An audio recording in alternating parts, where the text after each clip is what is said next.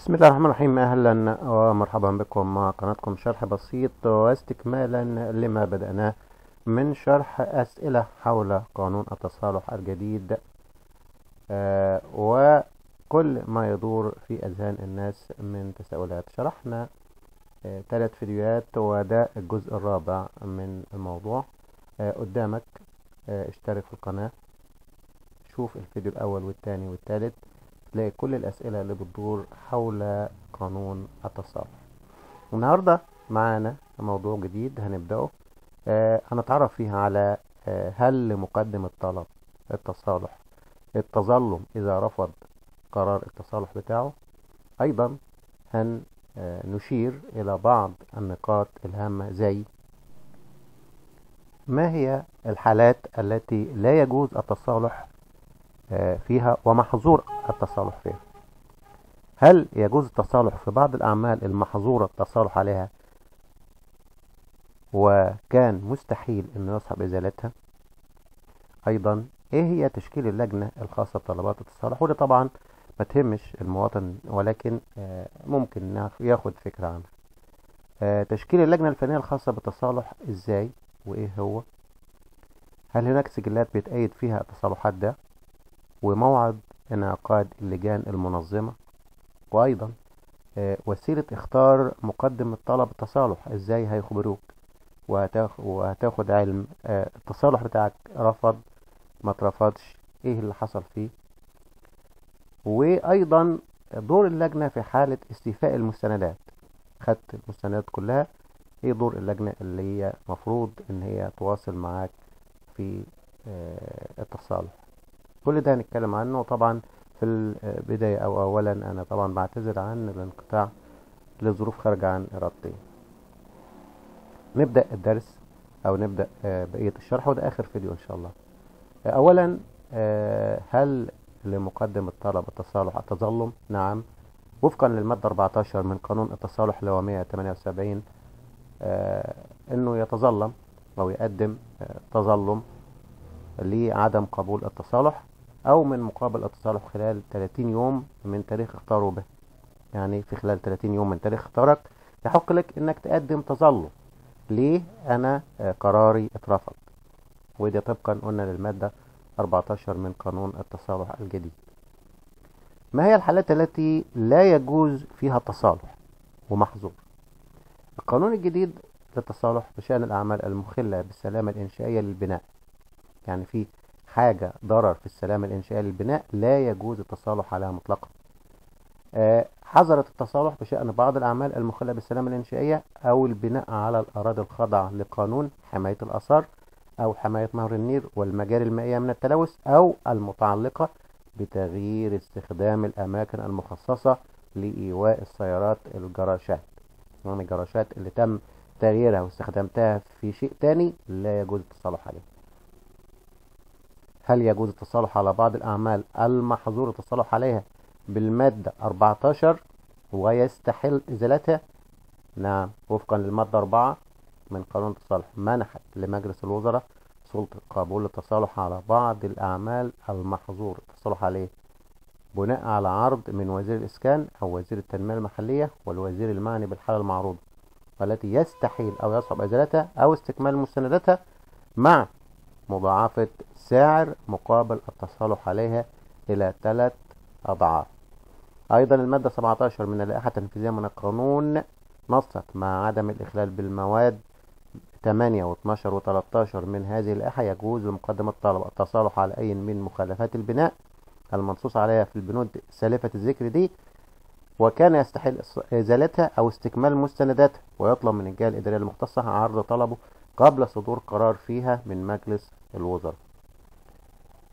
آه قلنا طبعا الحالات دي علشان ما يبقاش فيه تعارض أو تفهم الوضع آه إن الحالات المحظورة اللي هي السلامة الإنشائية حاجة في السلامة الإنشائية مخلة بالسلامة الإنشائية آه ده مرفوض تماما ولكن هناك بعض الحالات اللي بتترفض ولكن يصعب إزالتها دي ممكن إن يتم التظلم فيها أو بيكون فيها مسموح ولكن طبعا بعد العرض على رئاسة الوزراء والوزراء المختصين. ما هو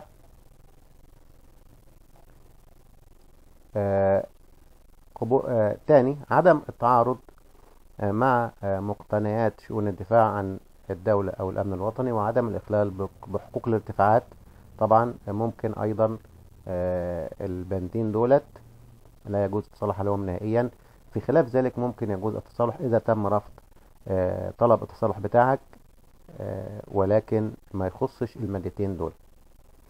طيب زي مثلا إيه؟ تغيير بعض الاستخدامات زي مثلا في بعض الحالات زي مكان سكني أو منطقة سكنية صناعية آسف منطقة صناعية. أنت عملت فيه مزرعة دواجن. لا ده ما يتقبلش. ولكن أنت عملت فيها مثلا محل سوبر ماركت. آه ممكن يجوز التصالح عليها لأنها تتماشى مع طبيعة المكان. تشكيل اللجنة الخاصة بطلبات التصالح. اولا بتشكل من مهندس استشاري متخصص في الهندسة المدنية. لا تقل خبرته كاستشاري عن خمس سنوات. ثلاثة من المهندسين على أن يتوافر في اثنين منهما خبرة لا تقل عن عشر سنوات ويكون أحدهما متخصص في الهندسة المدنية والآخر الهندسة المعمارية. ومقيدين بنقابة المهندسين. تشكيل اللجنة الفنية الخاصة بالتصالح بتشكل بقرار من السلطة المختصة لجنة فنية من العاملين بالجهة الإدارية المختصة أو من غيرهم. على أن يرأسها مهندس من العاملين بالجهة الإدارية المختصة أو مهندس نقابي من غير العاملين. بهذه الجهة لديه خبرة لا تقل عن عشر سنوات واثنين على الأقل من المهندسين المقيدين بنقابة المهندسين. لا تقل خبرة كل منهما عن خمس سنوات. وممثل عن الإدارة العامة للحماية المدنية التابعة لوزارة الداخلية. واللجنة أن لها أنها تستعين بما تراه من يعاونها أو إنجاز أعمالها. هل هناك سجلات خاصة لتقييد طلب التصالح؟ نعم آه هناك سجلات مدى 8 بتنشئ الجهة الإدارية المختصة سجلات خاصة ورقية أو مميكنة وتقيد بها طلبات التصالح وبيكون فيها الاسم وصفة مقدم الطلب ورقم الطلب وتاريخ قيده وعنوان العقار محل المخالفة ورقم الترخيص وتاريخه إن وجد وبيان المخالفة المقدم عنها الطلب محدد بالمساحة وعدد الأدوار والمستندات المقدمة وقيمة رسم الفحص ومقابل جدية التصالح. هل ترد المبالغ المدفوعة كمقابل للتصالح لذوي الشأن في حالة رفض طلب التصالح؟ يعني أنت قدمت طلب تصالح وقدمت مبالغ مقابل التصالح.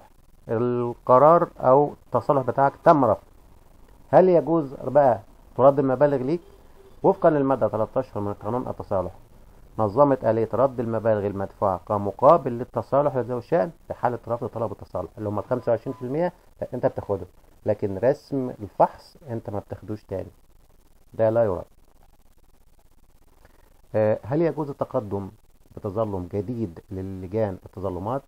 أجاز القانون لكل من رفض طلبه تصالح ولم تنقض مدة التظلم اللي هي 30 يوم إن هو يتقدم بطلب جديد للجان المشار إليها في خلال 30 يوم. كما أجازت لكل من رفض طلبه تصالح لأحكام القانون 17 لسنة 19 التقدم بطلب جديد أيضا في أحكام وفقا لأحكام القانون الجديد. يعني اللي رفض طلب التصالح بتاعه طبقا للقانون 17 لسنة 19 اللي هو القانون القديم إنه يحق له إن هو يقدم على طلب التصالح في القانون الجديد اللي هو 187 سنة 23 ما هو موعد انعقاد لجنة التظلمات. موعد انعقاد لجنة التظلمات طبقا للمادة 16 من اللائحة التنفيذية بتعقد دوريا كل 15 يوم. كل 15 يوم. آه, آه ما هي وسيلة اختار مقدم الطلب المادة 20 نصت على إن الاختارات كافة الاختارات والمكاتبات والمراسلات الواردة بالقانون واللائحة التنفيذية بأي من الوسائل إما يدوي أو رقمي على النموذج رقم واحد. يعني انت هم بيخبروك إما إنك بتستلم نتيجة التصالح بتاعك تستلمه أو إنك بتاخد النموذج رقم واحد. فيه لسه ما هي المدة المقررة لعرض الملف على اللجنة الفنية؟ المادة تسعة بتقول تقوم أمانة اللجنة الفنية بإعداد تقرير من واقع البيانات لدى الجهة الإدارية المختصة والمستندات المفرقة بالطلب وعرضه على اللجنة خلال مدة لا تتجاوز 15 يوم من تاريخ استلام الملف من الجهة الإدارية المختصة.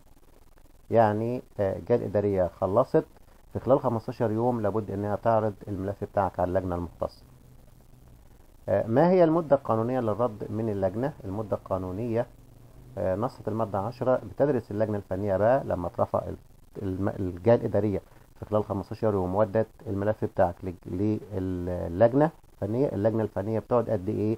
15 يوم. أيضا من استلام الملف لابد إنها هي ترد. يعني الموضوع بياخد 30 يوم. 15 و15 أعتقد آه، ده كل ما يخص المواطن من أسئلة. سؤال تاني هنا ممكن برضو.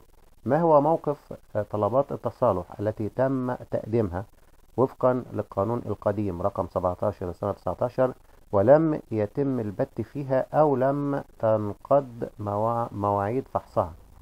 دي سؤال مهم. في ناس قدمت آه، في قانون التصالح القديم وما تمش البت في قانون التصالح لا بالقبول ولا بالرفض في القانون القديم. إن آه تم تم آه ال- ال- الفصل فيها ولكن محتاجة توقيع محتاجة حاجة زي دي.